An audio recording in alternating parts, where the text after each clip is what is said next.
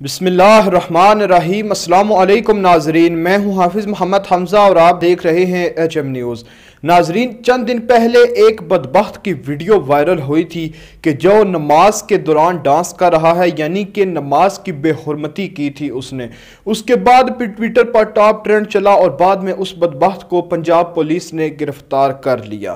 لیکن ناظرین، بات یہاں پر ختم نہیں ہوئی، بلکہ کل ایک اور ویڈیو وائرل ہوئی ہے جو کہ آپ سکرین کے اوپر دیکھ رہے ہیں۔ یہ بھی بدبخت، اسی کا ایک کچھ رشتہ دار لگتا ہے کہ جو نماز کی بے حرمتی کر رہا ہے یعنی کہ یہ بھی اسی طرح جس طرح اس نے نماز کو ایک ڈانس کے طور پر اپنایا، یہ بھی اسی طرح نماز کی بے حرمتی کر رہا ہے۔ اور قریب لوگ جو بیٹھے ہیں، وہ اس کو داد دے رہے ہیں کو مزید اکسا رہے ہیں کہ وہ مزید یہ کام کرے۔ تو اب ناظرین پولیس کو چاہیے کہ وہ اس بدبخت کو گرفتار کرے اور اس کے علاوہ جو وہاں پر لوگ موجود ہیں جو کہ ویڈیو میں نظر آ رہے ہیں، سب کو گرفتار کیا جائے۔ جو کہ اس کے اوپر پیسوں کی بیلیں کرا رہے ہیں، ان کو بھی گرفتار کیا جائے۔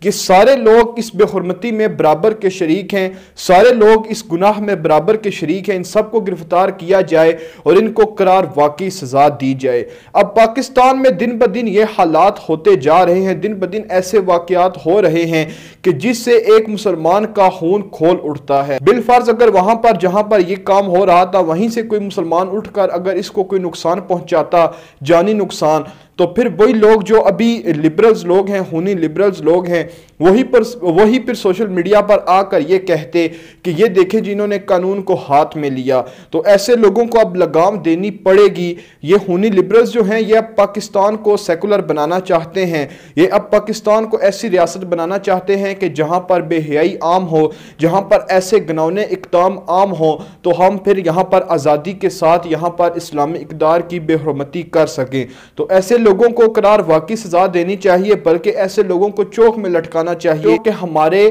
فرض عین کی بے حرمتی کرتے ہیں جو کہ نماز کی جو کہ نماز حضور نبی کریم صلی اللہ علیہ وسلم نے ارشاد فرمایا کہ نماز میری آنکھوں کی ٹھنڈک ہے۔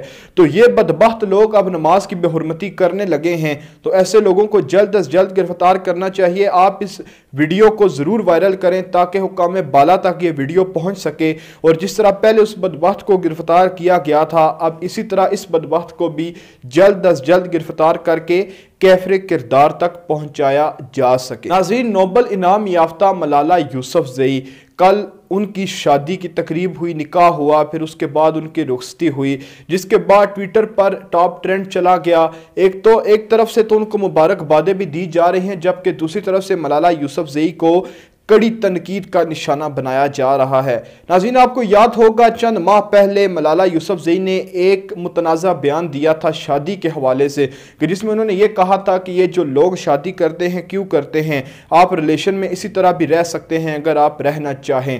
جس کے بعد پھر ملالہ یوسف زئی کو بڑی سخت تنقید کا نشانہ بنایا گیا تھا۔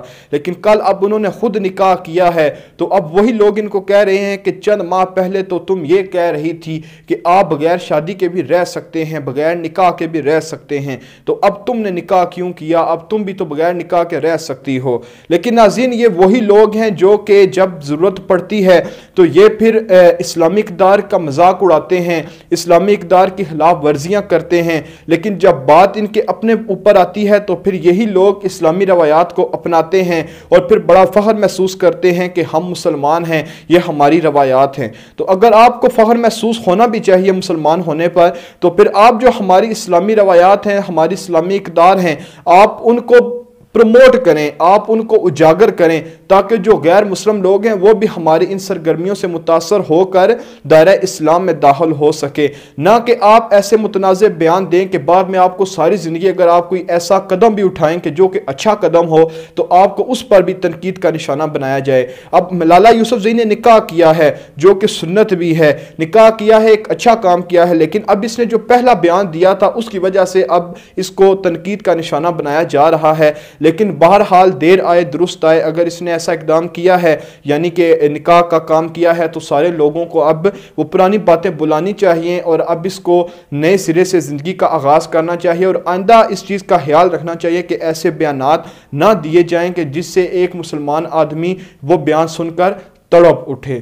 ناظرین، آج سپریم کورٹ میں ایک سماعت ہوئی، سانحہ اے پی ایس کے اصل نوٹس جو لیا گیا تھا، اس حوالے سے ایک سماعت ہوئی اور سپریم کورٹ نے وزیراعظم پاکستان عمران خان کو فوری طور پر سپریم کورٹ میں طلب کر لیا ہے۔ جس کے بعد عظیم وزیر اعظم پاکستان عمران خان نے پھر اٹارنی جنرل کے ساتھ ایک مشاورت کی اور اٹارنی جنرل نے ان کو یہی کہا کہ آپ کو عدالت کے احترام کے طور پر پیش ہو جانا چاہیے عدالت میں۔ تک جو آخری اطلاعات آئی ہیں اس کے مطابق یہ ہے کہ وزیر اعظم کا سٹاف سپریم کورٹ پہنچ چکا ہے۔